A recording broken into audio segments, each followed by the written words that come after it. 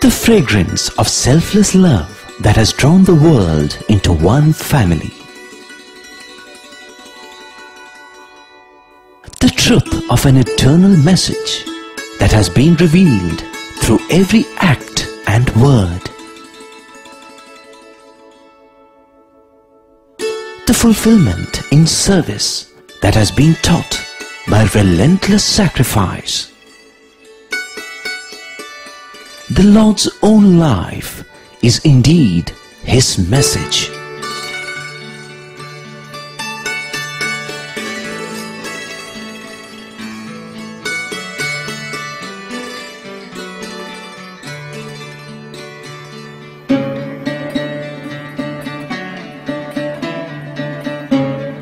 Sairam and greetings from the Chancellor's Chamber in the administrative block of the Sri Sathya Sai Institute of Higher Learning.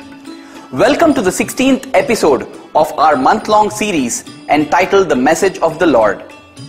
Currently, we are dealing with what Swami has taught us about education through his discourses and via his own life through the various examples that he has set. Yesterday, we discussed something about how Baba set up an entire university and shaped it both in terms of policies and guiding principles via the constant personal attention that he gave to students in many different ways. The personal attention aspect is extremely important and today we shall explore why Baba was insistent on that. Every university has what is called the Vice Chancellor, who essentially functions as the CEO. Above the Vice Chancellor is the Chancellor, who mostly functions as the ceremonial head, showing up once in a while, mainly at the time of the annual convocation. Thus, most chancellors have zero contact with the students of their universities. By contrast, Swami, who is the founder of the Sri Sathya Sai University and also its revered Chancellor for life, is there amongst the students every single day. As Baba often says, while Vice Chancellors come and go, Swami always continues.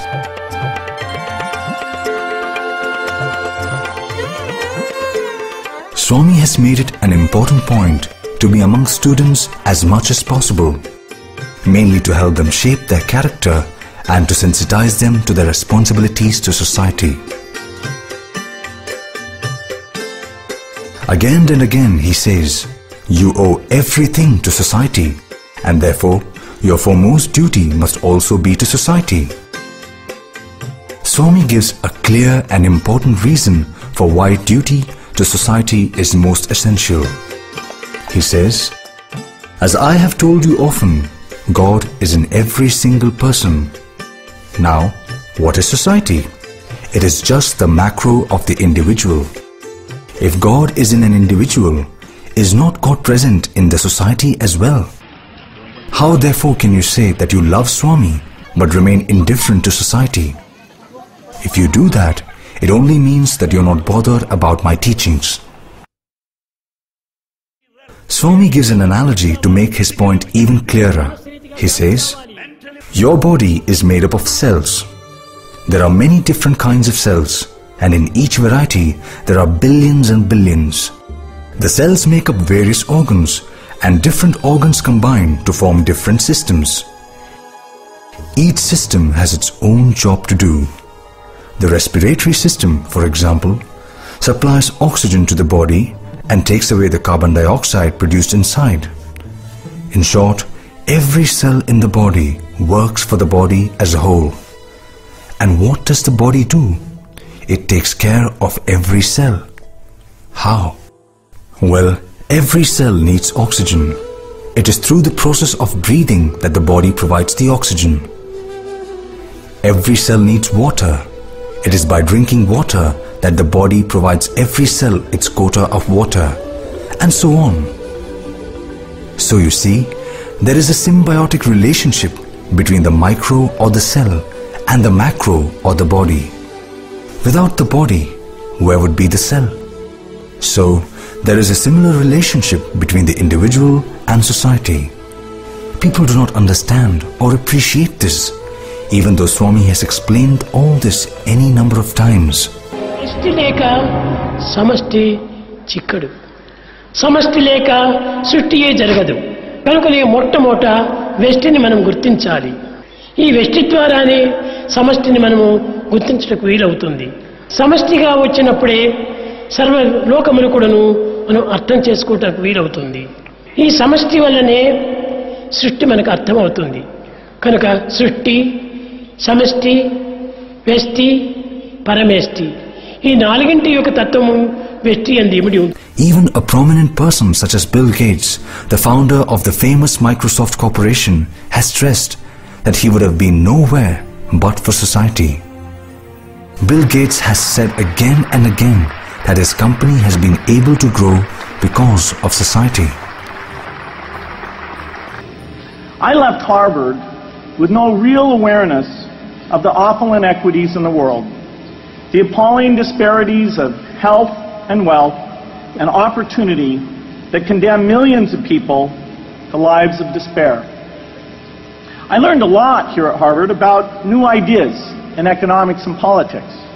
I got great exposure to the advances being made in the sciences. But humanity's greatest advances are not in its discoveries, but in how those discoveries are applied to reduce inequity.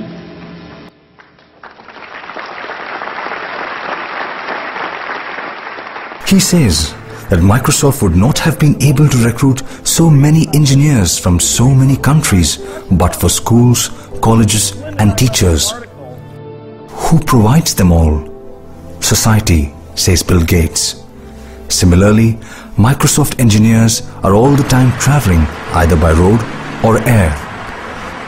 Who provides roads and airports? Society again. And who gives Bill Gates all his business? Society again.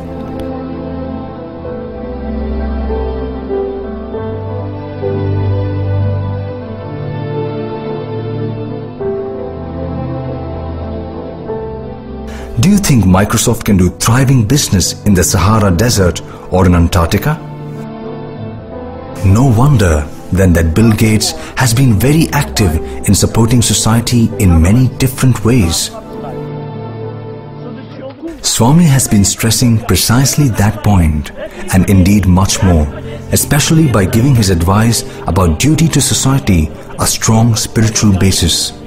And just think for how so long he's been doing that. Yet, how many pay serious attention to what he's been saying?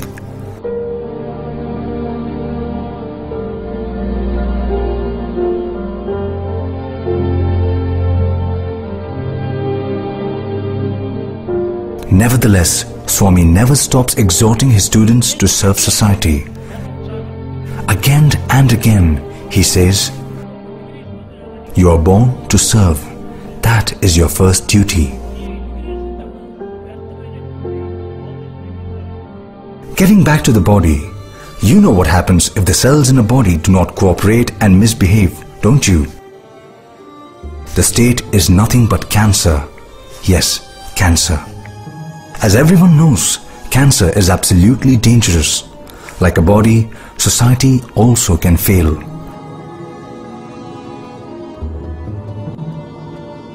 And these days, Somalia is often cited as the number one example of a failed state. We do not wish to scare you with horrible stories about Somalia, but just imagine what happens during, say, a simple truck strike when all movement of essential goods are stopped. The shops become empty and it becomes difficult to buy even vegetables and milk.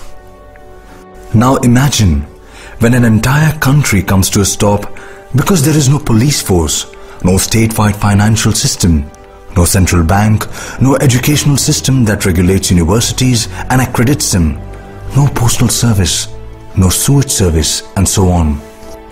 Can you imagine what that would be like? There would be utter chaos, and such a country is called a failed state. Today, while Somalia is known to be a failed state, many others are not far from that situation. So you see, individuals cannot afford to be indifferent to the society and the country in which they live. They have both duties and responsibilities in this context. In 1999, in a public meeting in Mumbai, Swami told the huge audience that Mumbai was the stomach of India. As you well know, if the stomach is sick, the whole body suffers. Swami said that Bombay was suffering because the rich there lived in comfortable skyscrapers, least bothered about people who supported them but lived in slums in the most miserable conditions. This, Swami said, is the perfect recipe for disaster. People of Bombay were asking Swami to protect them from danger due to crime, but were not bothered about protecting the poor who served them. Take care of those who serve you, Swami said, and you would automatically be protected.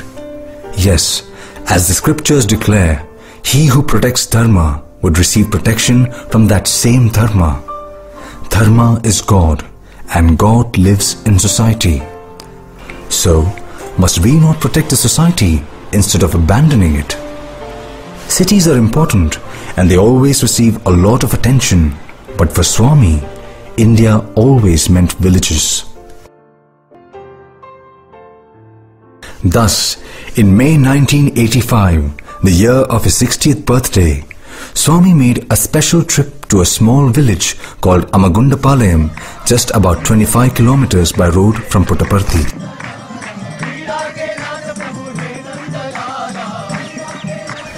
Even today, when millions come to Puttaparthi, very few know about this village, even though it is only a short distance away. Why? Because going there is so difficult. And yet, Swami went there in 1985 in his car. How did he manage that? Because his students prepared that road by working there for many weeks.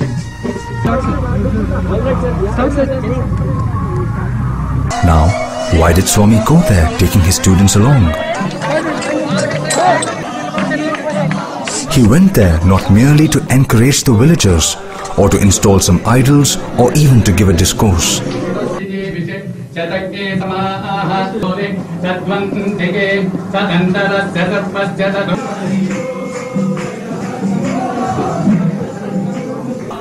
He went there mainly to tell his students that villages are like his eyes. His message was simple. If you say you love Swami, then protect Swami's eyes. Swami has not two eyes, but thousands of them. Are you ready to protect and care for a thousand eyes? That was the challenge that Swami threw then to his students. In the year 2000, Swami converted the challenge into an opportunity by instituting what has now become famous as the annual Grama Seva activity. Basically, it involves all the students visiting about a hundred villages in the neighborhood over a period of 10 days. They go to these villages taking Swami's love to the people living there and distribute food, sweets and clothes literally door to door. It is an amazing operation and involves everyone, students as well as teachers. It all starts with an all-night cooking and packing.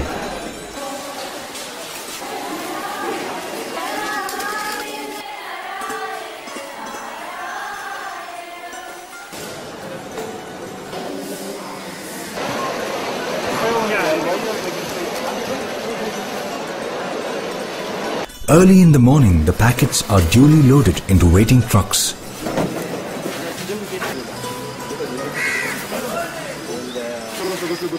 The students then rush to have a quick bath and darshan of their beloved Swami. After that, they get into the waiting trucks and off they go.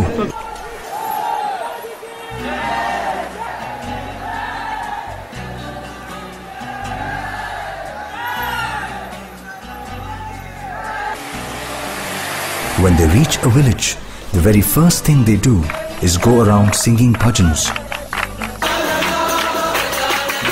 Basically, This routine is a message to the villagers to start the day with God.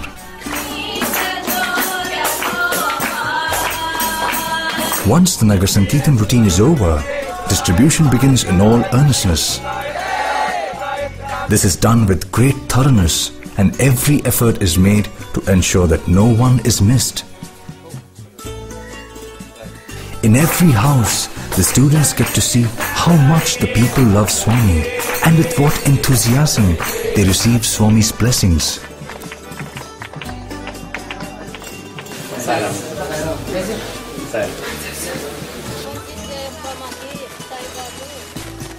Sometimes the unspoken gratitude of the recipient is most touching.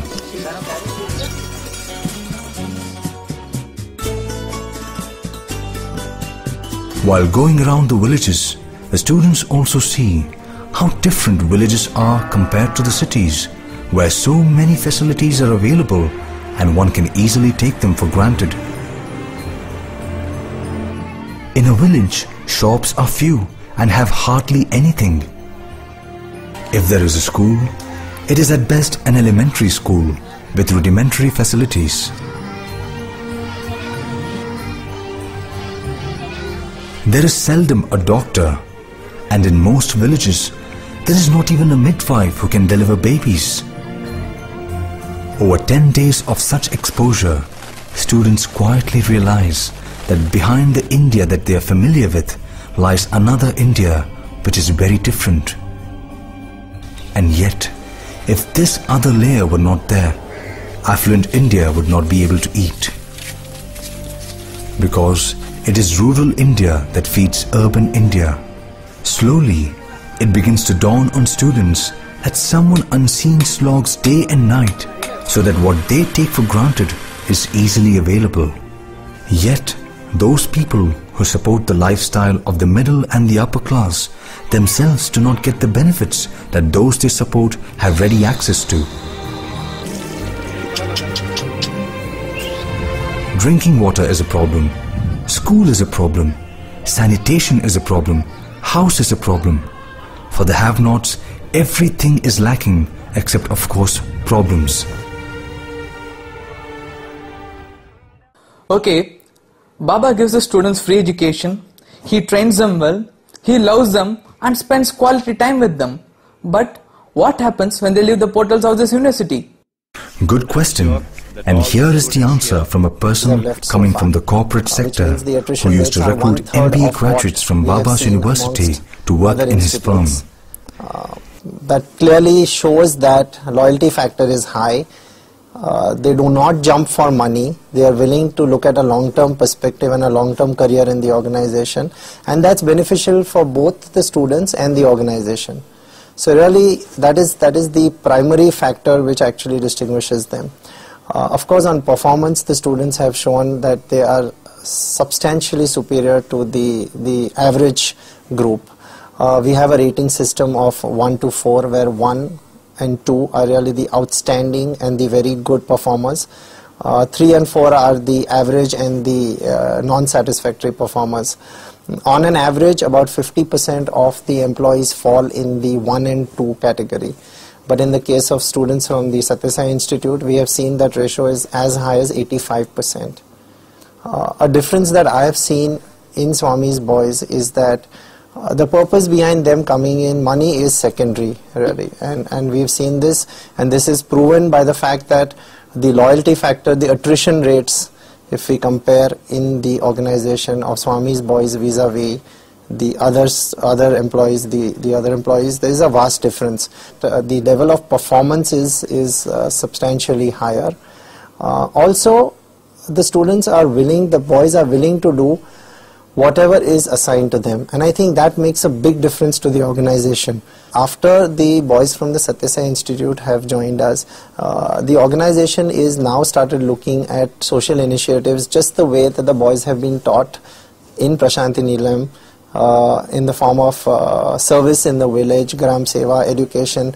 And I must quote that the senior management in HDFC Bank, all of them have tremendous words of praises for the work done by uh, Swami and uh, that is actually also by seeing the work that is being put in by the boys of the institute when they take up projects for the for the bank.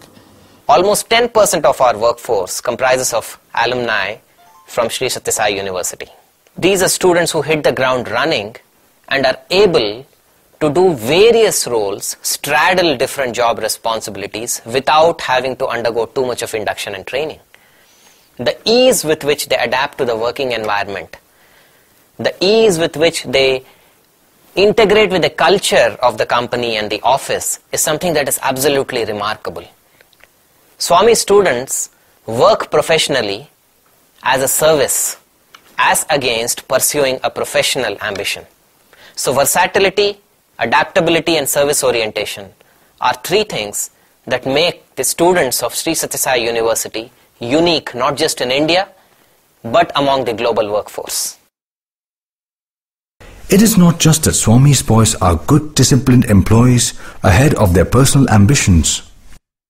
They keep alive what they have learned from Swami in other ways too. Banking, banking business too. దీని యొక్క సంబంధమైనటువంటి యొక్క communication కూడా చాలా సక్రమంగా ఉంటుండాలి. Workers దగ్గర ఏ విధంగా మాట్లాడాలి? బ్యాంకర్స్ దగ్గర ఏ విధంగా ఉంటుండాలి? మన షేర్ హోల్డర్స్ దగ్గర ఏ విధంగా ఉంటుండాలి? అని అనేటువంటివి చాలా చక్కగా దీనికి ఒకదానికొకటి కమ్యూనికేషన్ సరైనటువంటివిగా ఉంటుండాలి. ఈ అన్నింటికి ముఖ్యంగా ప్రాణాధారమైనటువంటిది నీతి నిజాయితీ. మనము ప్రాఫిట్ పైన మనం లక్ష్యం పెట్టకుండా సక్రమమైనటువంటి రీతిగా సమాజములకు పదార్థములు అందించేటువంటి విధానాన్ని మనం లక్ష్యంలో పెట్టుకోవాలి One of those being to do seva or service whenever possible. Here, for example, you see them running a medical camp in a village. Here is a moving shot of a former student of Swami serving in a medical unit set up in Nigeria exclusively for helping those struck with the dreaded disease leprosy. Dear viewer, you may not be aware of it, but at the present time, India has about 400 universities. How many such students do you think the other universities produce regularly? These are times when good work is not considered news and hence simply not reported. And since Baba does not speak much about this in public, till now the world at large was not even aware of the wonderful manner in which Swami has made character development the cornerstone of his educational program. However, thanks to the increasing number of Sai students serving in major corporations, the elite of India are beginning to pay attention to what is happening in Prashantinilayam, at least as far as education is concerned. Has given in the human frame everything. You have got to Thus, for example, when the University Grant Commission celebrated its Golden Jubilee some years ago, it made Puttaparthi the venue for its special seminar on value-based education.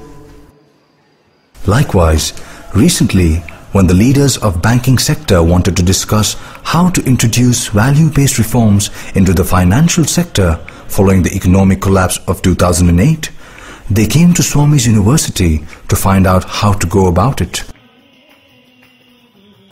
This is for the first time that a university anywhere in the world has called a conference to go into the issues that have been raised uh, following the crisis, the financial crisis that the world saw over the last two years.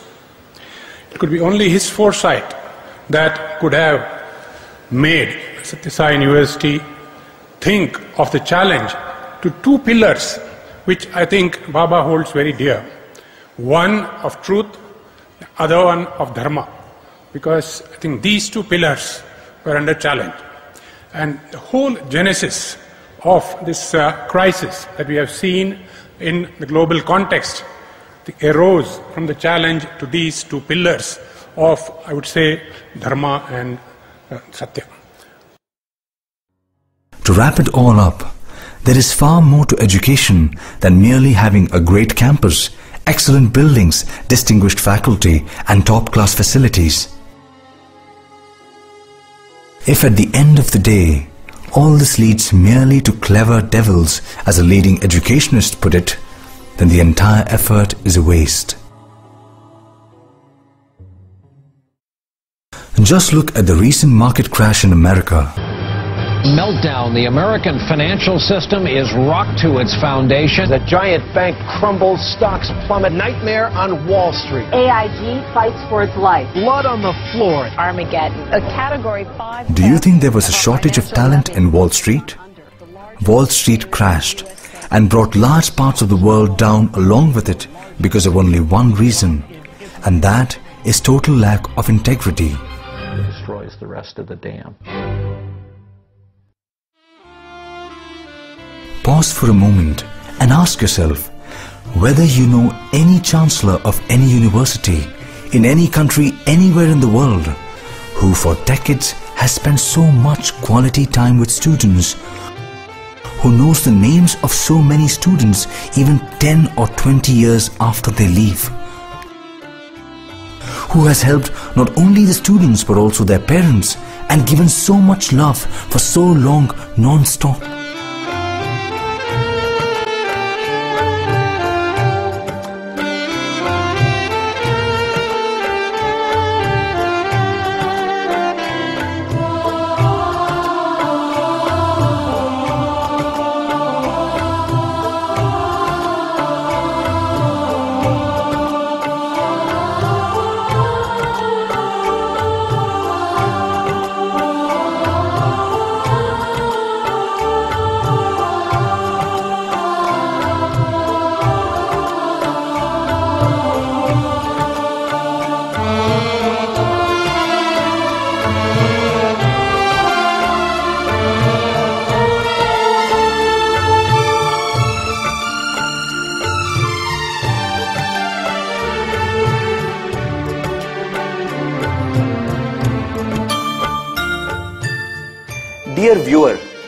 as we conclude this episode, we would like you to think on how rare it is when God comes down to earth in a human form and how blessed we are that we are able to see Him and also learn from Him.